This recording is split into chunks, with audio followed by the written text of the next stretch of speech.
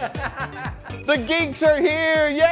Yay! Time for Geek Beat. Uh, Ryan Ozawa is, uh, let me see, he's uh, on location. He's. Uh, in New York? He's in New York, Yeah, really? yeah, oh, yeah, okay. Got Burt Lum is here, and Isla Young is from Women in Technology. So, what are we talking about today?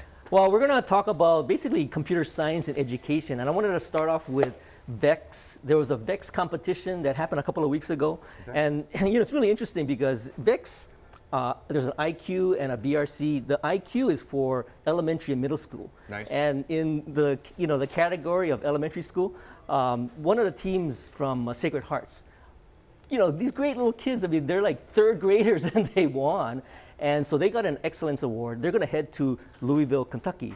Wow, the the VRC, which is the high school, uh, the team that won was Pearl City, and they also got an excellence award. They're heading to uh, Louisville, Kentucky as well for the international. Now, the VEX competition here is sort of a pan Pacific. So they invite teams from all over the place. And in this case, there were several teams from China that actually participated in, in this competition.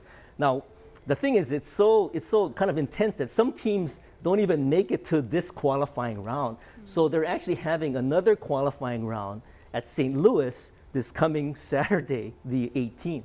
So, um, you know, if people are interested in what's happening with VEX and robotics and, you know, getting, it's great to see these kids just get all excited about competing uh, and doing some of these things like, you know, the, um, this uh, ring, ring um, arrangement competition. Uh, there's going to be this, you know, this event over at St. Louis uh, this coming weekend. Got it. The, um, the other thing that's kind of interesting that's happening, and this is really picking up momentum across all of the schools, is, is the idea of uh, Hour of Code. And in December, there's going to be a whole week. It's like CS Education, Computer Science Education Week, and this will take place December 4th through the 10th.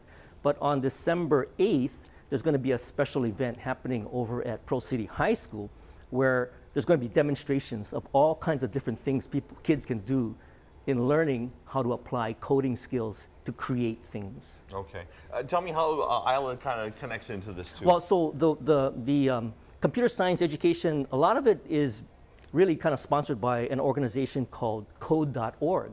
And so there's a big rollout that Isla and the Women in Technology are actually undertaking. tell me about that real quick. Very exciting. So we've been selected to be the regional partners here in Hawaii, um, which really means we're finding the teachers, partnering with our local DOE and our university system and our industry partners to engage and um, help train our teachers.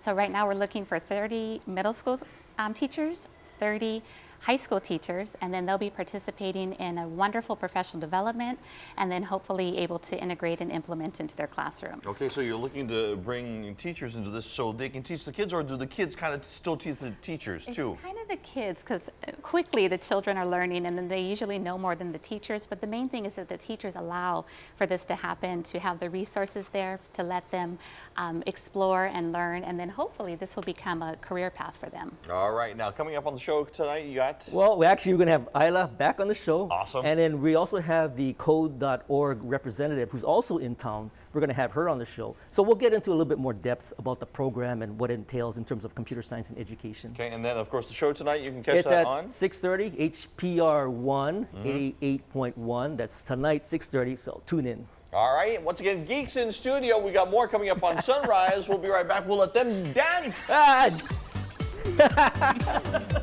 You're watching Sunrise on Hawaii News Now.